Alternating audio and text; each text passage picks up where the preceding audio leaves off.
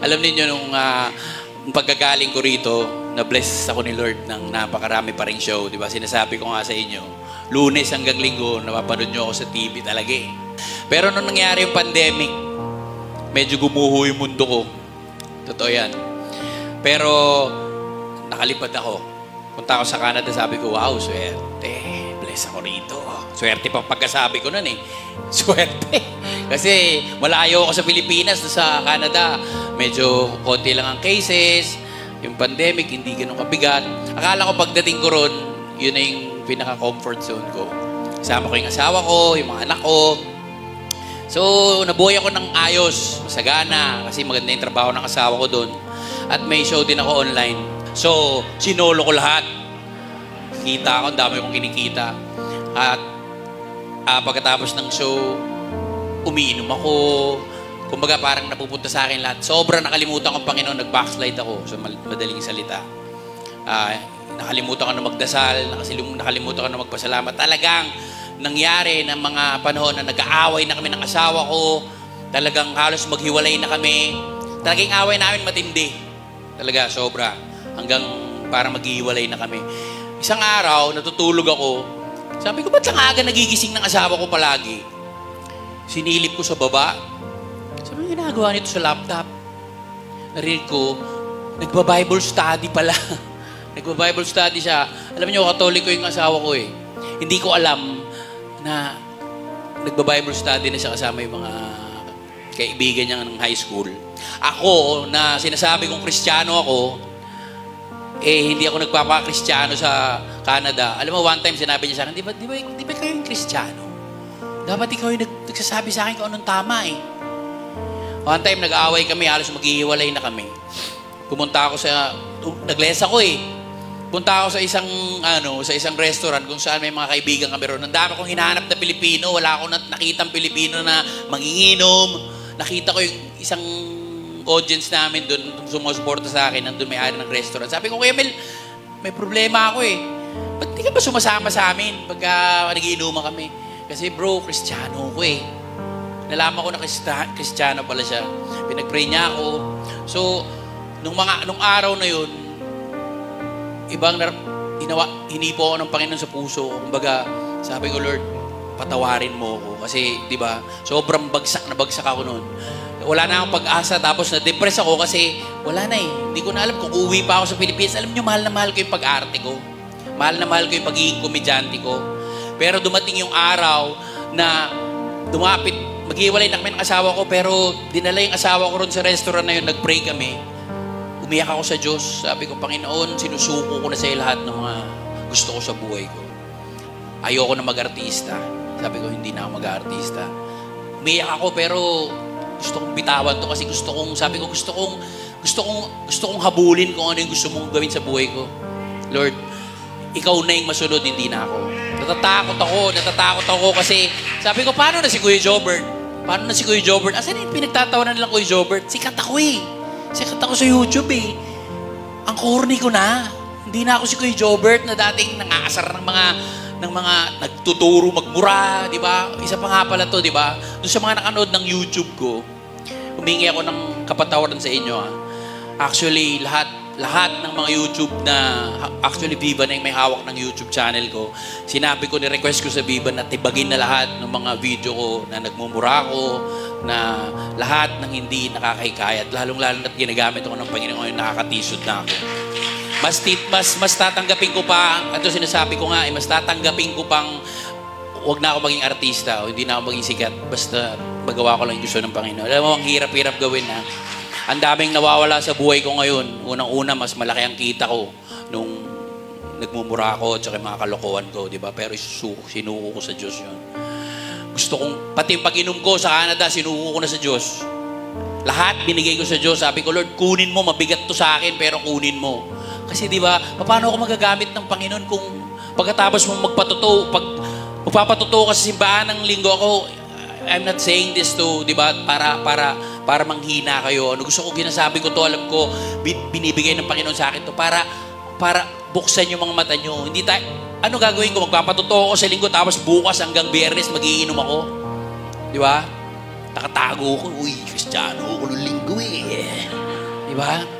Dapat, pero hindi ko rin sinasabi na si Kuya Jobert, eh, uy, ang galing mo, Bert. Di ba? Hindi ka na umiinom. Hindi ko kaya to.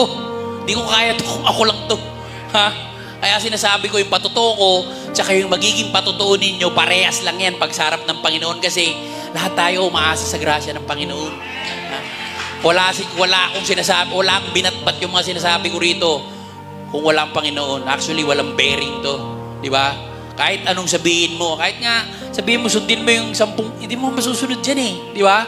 At kahit sundin mo yan, dahil natatakot ka lang mapunta sa impyerno, o natatakot ka lang dahil aayawan ka ng mga kaibigan mo, o dahil mawawalan ka ng trabaho, wala pa rin ibig sabihin yun. Di ba? Ang pinaka-importante, ginagawa mo yan dahil alam mo, alam mo na yun yung nakaka, nakakapagpalugod sa Panginoon na nagbibigay sa iyo ng lahat. Diba? Bakit ako naging artista? Bakit ako hinugot ng Diyos? Alam nyo ba, kung hindi nyo ako nakikilala, nakatira ako sa jeep dalawang taon bago ako naging artista. Kumakain ako ng pulburon. Palagi kong sinasabi at hindi ako nahihiya. Kumakain ako ng pulburon kasama ko yung anak ko sa lumang jeep. Bulok na jeep. Hindi nyo nga siguro naranasan yan eh. Nakikita nyo nga yung itsura ko. Ganda ng damit. Nung umiiyak ako ron, nilalamok ako gabi-gabi. Umiinom ako para hindi ko maramdaman yung kagat ng lamok. Kasi pagising ko, puro freckles yung mukha ko. Mata lang ang hindi kinakagat ng lamok kasi nakapikit yan. Hindi ako nagka-dengue. Isang araw, kinuwento ko na to sa, sa inyo. Isang araw, lasing na lasing ako, humig, pumasok ako sa jeep, umiiyak ako. Sabi ko, minumura ko yung Diyos. Literal, literal to ha. Minumura ko yung Diyos. PA ka? Sabi ko, kung Diyos ka, patayin mo na ako. Na, hindi ka ba naawa sa akin? Pinagtatawanan ako ng mga kaibigan ko. Dati may bahay ako. Nandun lang kasi ako sa compound namin eh. Yung jeep nandyan, yung bahay ko nandun, pinagtatawanan ako ng mga kaibigan ko kasi ito yung umaga, lumalabas ako sa jeep. 9 o'clock, alarm clock ko yun kasi para ako natutulog sa oven. Ang init. Kailangan mo magising kasi pawis na pawis kayo. Yun ang nagigising sa'yo. Oh, init na. ang init na. Tapos minsan sa sobrang dami ng tao nakatambay sa chapel, katapat ng chapel, dito ako dumadaan mga kapatid sa bintanang maliit, nalalaglag ako ron dahil nahihiya ako. Nahihiya ako. Tol. Tapos, pagis, nagising pa rin ako. Sabi ko, wala, walang, walang, walang kwenta yung dasal ko. Hindi ata, hindi ata ako pinakinggan ng Diyos, hindi pa rin ako pinatay. Tapos tuloy-tuloy hanggang dumating yung panahon na nakilala ako sa YouTube, nakilala ako sa radyo. Tinawagan ako ng ABS-CBN. Ang dami kong show. Yumaman ako. One time, nagsisimba ako, sabi ng Panginoon sa akin, Jobert, naalala mo nung sabi mo sa akin, patayin mo na ako, Lord. Kung pinatay kita nun, nararanasan mo ba to? Gusto mo lang magka-chinelas tsaka makakain nun eh. Ngayon, may kotse ka. Gusto mo chinelas lang, may kotse ka. May bahay ka. Yung asawa ko ngayon, na kalaro ko nung elementary, na pinagpe-pray ko, akala ko suntok sa buwan talaga yun. Da- one time, naaalala ko nasa rebo ko, parang naglambing ako sa Diyos, Lord, bigay mo nga si John sa akin. Sige nga. Pero nakalimutan ko na. Ay, mahal, crush na crush ko yun. Actually, sobra. Binigay sa akin. Binigay ni Lord sa akin. Oh, hindi ko, yung, yun ang asawa ko ngayon. Sobrang, sobrang, talagang mahal na mahal ko yun. Ba- bata pa ako ha. Hindi, hindi naman ganyan kali. Pero, four years old, kalaro ko siya. Wala akong sinabi doon. Wala akong nasabi, pero hanggang lumipat kami, siya yung nasa isip ko. Binigay ni Lord sa akin. So ano yung, yung ano yung ano yung nung nasa Canada na ako babalik ako. Bumalik bumalik ako sa Panginoon. Nag-sing ako sa Panginoon. Alam mo, ang tagal kong nagre-Kristiyano, Kristyanuhan sa tingin ko eh. Alam niyo kung bakit? Pagkagaling ko sa church, uuwi ako sa bahay, artista na naman ako, ang kulit ko na naman sa probinsyano, ang kulit ko na naman sa Banana Sunday, papakwit-pakwit ako sa mga chicks. Di ba? Kasi ang galing ko, paporma ako ng paporma, kotse ko, ganda.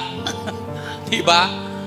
Buhay, buhay ano, buhay binata, pa-cute. Di ba? Ano yung binago ng Panginoon? Ang binago ng Panginoon sa akin, natuto ako magbasa ng Biblia. Wala, alam mo, alam mo ang pinakita sa akin ng Panginoon sa pandemic na to? Ha? Asar na asar ako sa pandemic noon. Sabi ko, buwis na pandemic to eh. Dahil sa'yo, nawalan ako ng trabaho eh. Pero alam mo yun, blessing pala yun. Dahil hiniwalay ako ng Diyos sa Pilipinas para suluhin niya sa Canada.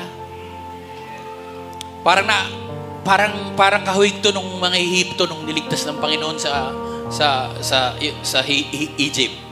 Dinala niya. Gaano gaano katagal bago nakapunta siya sa Promised Land? 40 years. Nagbago ba ako sa rehab?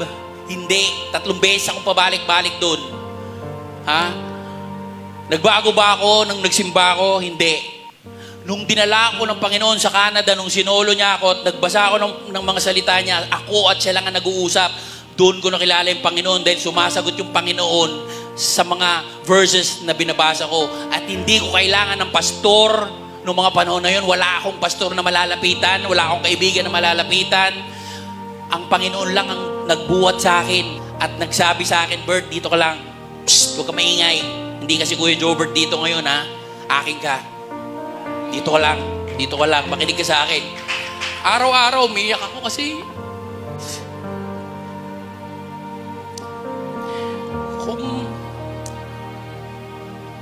kung babalikan ko lahat ng mga pinanggalingan ko, pinagdaanan ko sa buhay, nakulong ako, di ba? Nag-drugs ako ilang beses ako pabalik-balik sa rehab. Napapaaway ako. Eto ako ngayon, no? Di ba? Hindi ka mamamatay, Bert, dito ko lang. Natatakot ako sa COVID. Pagbalik ko, sabi ng Diyos sa akin, oh, so ngayon, nakabalik ka na sa akin, Jobert. Ano na? Umuwi ka ron. Umuwi ka ron. Lord, ba't uwi doon? Wala kang gagawin dito. Nandun yung mga kaibigan mo. Nandun yung mga dating nakakilala sa'yo na loko-loko ka. Di ba? Doon ka. Bahala ka. Bahala ako sa'yo doon. Sir, tatakot ako sa COVID, Lord. Doon ka. Umuwi ka. Sabi ko, eh, pag may ticket, mga ganun-ganun pa ako kay Lord, pag may ticket, Lord, eh, mahal ticket eh. Ang mahal ng ticket, eh, $4,000 ang ticket, may 8,000 pa nga. Tapos meron pa nga ticket doon mura pero 80 hours ka sa Qatar. Anong gagawin ko? pero sabi ko, Lord, sige, bala ka. Pag uwi mo ako, bigyan, bala ka. Isang araw, sabi ng asawa ko, Jobert, binok kita. Ha? 900 yung ticket. Straight flight from Vancouver to Philippines. Pinapauwi talaga ako ni Lord. So, pinauwi ako ng Diyos at uh, buong puso ko namang tinanggap yun. Di ba? Kahit malungkot. Actually, ang lungkot-lungkot ko kasi one, one, year, one year kami nagsama ng asawa ko for the first time. Nagsama kami ni Chad ng isang taon nung mga huling araw ng huling buwan na uwi na ako, sobrang okay kami sa Panginoon. Nag, nagdadasal kami gabi-gabi, umiiyak kami sa Panginoon gabi-gabi, naghahawakan kami ng kamay, pinagdadasal namin yung mga gusto namin sa Panginoon, hinihiling namin. Alam mo, lahat ng hiniling ko, sabi ko, Panginoon, sige, uuwi ako. Pero pag uwi ko, lahat ng libreng oras ko, gamitin mo para sa'yo. Anong ginagawa ko sa jail nung isang linggo? Huwag yung titingnan yung ginagawa ko, ha? Huwag yung titingnan yun. Kasi kung ako, hindi ko kaya gawin yun mag, magpupunta ako sa mga tropa ko. Ano gagawin ko sa jail? Ang, ang init-init dun eh. Maawa pa ako dyan. Dinala ako ng Diyos dun. Hindi ako makapalag. Di ba? Gawin mo yan. Gusto mo sumunod sa akin, di ba? Gawin mo yan. Ha? Hindi kita pinauwi sa Pilipinas para magkuyakoy ng pamo, para magpaya, mag, mag, magpayaman ulit, magpasikat ulit. Pinauwi kita dyan para magtrabaho sa akin. Ha? Hindi, hindi kita pinawi dyan para magpakyut ka na naman ulit at magpasikit. Alam mo, sasabihin ko to sa inyo ng buong puso ko, kahit mawala na ako ng trabaho direct sa showbiz, kahit mawala na ako, mas gusto ko nang gayon sumikat sa Diyos kaysa sa mundo. Ang dami nakakanig. Pero alam mo, ang bait pa rin ng Panginoon kasi yung YouTube channel ko kinuha ng Viva. Nasusunod yung gusto ko ron. Sabi ko, ito yung platform ko. Ano ba ako, Jobert? Kasi born again na ako eh. Ayoko na nagmumura ako. Sige, okay po yan. Gusto kong i-launch yung kanta ko. Okay po yan. Di ba? Alam mo, pag sinunod mo yung Panginoon, ibibigay niya yung desires ng puso mo. Gusto, na, gusto ko magpatawa? Pwede ka naman maging magpatawa. Nakakatawa ka pa naman, Kuya Jobert eh. Buli ka. O, di ba? Kahit hindi ka nagmumura, nang ginagamit ka ng Panginoon. Jobert, Jobert, One time, nung, is, nung isang araw, gumawa kami ng vlog, pinagtatawanan ako ng isang artista. Hindi ko nababanggitin. Sabi ko, sabi niya kay Jobert, dami mga chicks dito. Sabi ko, hindi na, ayoko na, hindi na ako nag, ayoko na, hindi, ko, hindi na ako nagmumura, hindi na, ah! Umolokohin! Ginaganon ako. Alam mo, makakaranas tayo ng persecution pag nasa Panginoon tayo. Masakit sa akin, di ba? Kasi kilala nila akong bibo eh. Tawag nga sa akin sa set, sa probinsyano, bida best ako eh. Actually, ako na nagpapatawa ng sobra kay Ngokot ano, pinapalo niya yung mesa pag nagpapatawa. Ah! Di ba? Ako yung life of the party. Diba? Kung wala si Kuya Jobert, malungkot, namimiss nila ako lagi. Pero dapat ngayon, mamiss nyo ko dahil meron kayong mapupulot na maganda sa akin. Katulad nga ng sinasabi ni Pastor, nakakami si Kuya Jobert. No? Pag-pray, pag-pray mga kabert. Nakakatuwa kasi one time, nasa, nasa Canada ako, may mga tumatawag sa akin, ibang artista. Sino ba ako? Bakit? Problema. Ba't ako? Ang daling araw dito eh. Sabi ng pastor namin doon, hindi, ka, tinan mo, isipin mo kung bakit nangyayari ito sa'yo. Bakit tinatawagan ka ng mga taong yan? Baka yan ang, yan ang, yan ang purpose mo. Di ba? Na maging patotoo kasi alam nyo, kung, kung gaano ako kawasak dati, adik ako, siraulo ako, gagamitin ng Panginoon yun para sa glory niya. Nakakatawa mo, pero alam mo, dati talo to, nahihiya din ako talaga eh. Tulad ngayon, online tayo eh. Ah, ganun-ganun ko. Magtatawa na ka ng, eh ano? Di ba? Ano? Ano? Anong ibig sabihin ng buo? Ako, 50 years old na ako eh. Di ba? Binigay na sa akin ng Panginoon yung desire ng puso ko. Gusto mo magpatawa, ginawa kitang, ginawa kitang komedyante. Gusto mong sumikat, best comedy actor ka pa eh. Di ba? Pero hindi ka para doon, Jobert. Ngayon kilala ka na, gamitin mo na yung binigay ko sa'yo para makilala naman ako ng, ng mundo. Di ba? Pagdadamot mo ba sa akin yan? Alam mo, maiyak ako na isang araw kasi ang dami ko pa rin, mainit pa rin ulo ko pag nagmamaneho ko. Sabi ko, Lord, dalin mo ako dun sa mga mga kahinaan ko. Yung init ng ulo ko, Lord, pagalingin mo ako. Alam mo, ginagawa ng Diyos, nilalagay niya ako lagi sa ganun. Yung traffic lang, oh, ba't laging may, may makulit? Ba't laging may makulit? Tinetesting ako, Lord. Sabi ko, Lord, dalin mo ako doon. Kasi gusto kong baguhin ako ng Diyos doon. Ang hirap, pero pag gusto mo talagang sumunod sa Diyos, lahat ibibigay mo. Kaya ako, ayoko maging, maging pababy dito ngayon. Di ba? Katulad nga sinabi ni Pastor, malapit dumating ang Diyos. Kukuya-kuya-kuya lang ba tayo dito bilang Kristiyano? Ha? Pagkat pag-uwi natin, tapos na ang Kristiyano ko, la! Uwi na ako! Ulot na ang basketball. Uy, galing na libro, no? Di ba? Kailangan maging asin tayo ng mundo eh. Di ba? Para sa inyo. Ako alam mo ito, sinabi ko nga kay Derek eh, pagdating ko nagulat siya eh, sabi niya, bago yan! Alam mo yung kotse ko ngayon, sasakyan ko, hindi ko nakuha yan sa showbiz. Alam mo, pagdating ko, sabi ko, Lord, pagdating ko sa Pilipinas, kailangan ko na sasakyan para gawin ko yung mga gawain mo. Paano gagawin ko? Naka-scooter ako. Scooter, scooter. May gusto akong sasakyan, iniiyakan ko. Kukunin ko na lang, may pambayad na ako. Ang ganda ng sasakyan. Hindi ko makuha-kuha. Nagtatampo na ako eh, Lord. Ano? Ano gagawin ko, Lord? May mga ano naman eh. Ikipag- nakipag-bargain ako sa Diyos eh. Di binigay. Sumasama na loob ko. Nung siguro, nung nakita ng Diyos na, sige, sabi ko, Lord, bahala ka na. Bahala ka na. Ayoko na makipagtalo, Lord. Kung ano yung ibibigay mo, yun na. Alam mo binigay sa akin? Yung hindi hindi ko inaasahan, binigay sa akin. Yung kotse ko sa baba. Tingnan niyo yung binigay niya sa akin. Hindi ko inaasahan yan, pero kita mo, bago, maganda. Hindi pa yung, hindi pa yung, yung, ano lang ha, yung, yung katulad niya na, ano ha, na, na brand. Mas mataas, high-end dun. Hindi nagbibigay ang Diyos ng ano, petics. Pag sumunod ka sa Kanya, magugulat ka pa, Ay, sa akin ba to, Lord? Sa akin pala to, iyak ka eh. Sobra, hindi mo inihingi, minsan ibibigay sa'yo. Actually, wala, pang ini, wala pa ako hinihingi sa Diyos na hindi, niya, na hindi niya binigay sa akin. Umuwi ako rito.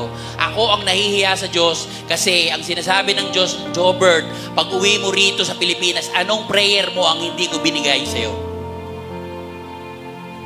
God remained faithful to me pagdating ko rito. Ako nga yung gumaganon eh. Di ba? Sabi niya, Jobert, pag nakagawa ko ng pagkakamali, so, Jobert, nag, nagkulang ba ako sa'yo?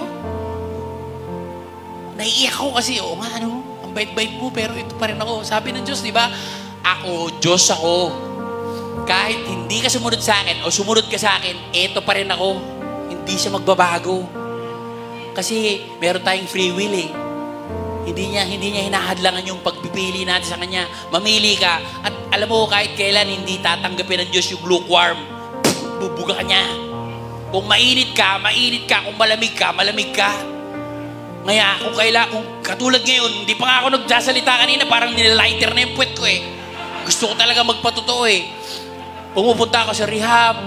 Glory to God, pupunta ako sa rehab, sa jail, sa mga churches, to share His Word. At nagpapasalamat ako, katulad nga sinabi ni Pastor, di ba? Pero hindi pa yun. Hindi pa ito yun. Araw-araw, pati testing ako.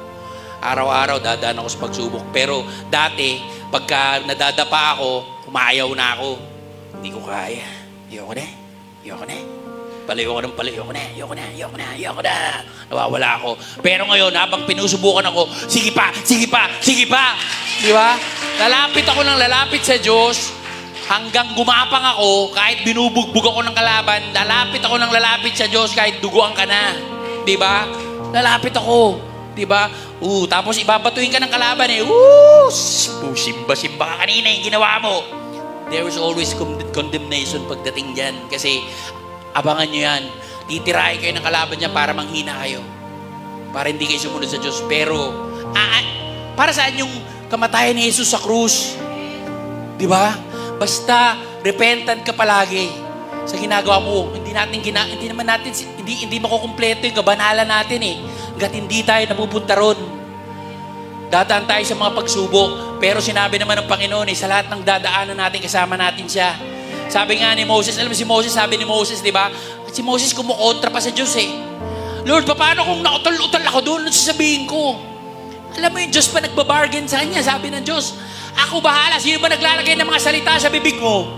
Di ba ako? So sabi niya ganun, paano kung ano ayaw pa rin? Sabi niya, sige, pasasamahan kita. Pasasamahan pa kita kay Aaron. Tapos ako magtuturo sa kanya kung ano sasabihin niya. Para sumunod lang. Di ba yung Diyos pa nagiging nagpapasig? Samahan ka ni, ni Direk. Samahan ka ni Direk, Jobber. Sige. Ganon kabuti yung Panginoon. Siya yung nakiki. Minsan inaabot niya tayo eh. Hindi ba tayo nahihiya? Siya nagbibigay sa atin ng lahat, tapos tayong tanggi ng tanggi. Huwag nyo nang antaying isubo kayo ng malaking isda. Huwag na. Hindi nyo kayang takasan ng Diyos, Dre. Sinasabi ko sa inyo yan. Kahit magtago kayo sa Zimbabwe, nagtago nga ako sa Canada eh. Natakasan ko pa, pag talagang may gawain ang Panginoon sa buhay nyo, hindi nyo siya matatakbuhan. Kung ano yung tinanim ng Diyos sa puso nyo, hindi siya titigil hanggat hindi natatapos yun. Kaya, I encourage you, hinihikayat ko kayo, huwag tayong papayag na mag, magpatalo sa mga kahinaan natin, di ba? Dahil mas malaki yung Panginoon natin sa mga kahinaan natin. Kaya tayo andito, kaya tayo may simbahan, kaya tayo may church, para magpalakasan tayo. Huwag, yung, huwag kayong lalapit sa iba. Tendency natin kasi kung may problema tayo, uy, dito tayo, comfort zone natin. Bayaan natin magmaneho ang Panginoon sa atin. Ang nangyayari kasi tayo nagmamaneho eh. Pag tayo ang nagmaneho, tapos nakaangkas lang yung Diyos, titigil tayo kung saan tayo komportable. Dito lang ako, yo, dito eh. Relax lang ako rito, relax lang ako dito. Hayaan mo magmaneho ang Panginoon sa buhay mo. Sumakay ka sa Kanya. Hindi Kanya ititigil sa alanganin. Pero minsan, matatakot ka. Pero pag sumakay ka sa Kanya, makikita mo yung glory ng Panginoon. Kaya nakatawid yung mga mga Israelita ron sa pangakong, pangakong lupa dahil ginabayan sila ng Diyos. Pero katulad nga ng mga tao natin, pinapakita na, pinapakain na nga na galing sa langit, di ba? Ayaw pa rin. Binabantay nga ng gabi, ng apoy. Sa umaga, may usok na ganun. Ayaw pa rin maniwala. So, kailan kayo maniniwala? Kung di natin gagawin ngayon, kailan? Kung di tayo magsasalita, sino? Manggagaling sa atin yun. Kaya ako nagpapasalamat ako sa mga pagkakataong to. Alam mo, sabi nga, better is one day in your courts, di ba? Than a thousand elsewhere. Etong araw na to, nagpapasalamat ako sa Panginoon dahil nandito ako sa lugar na to. Wala akong, wala akong pin- pinanghihinayangan na nandito ako.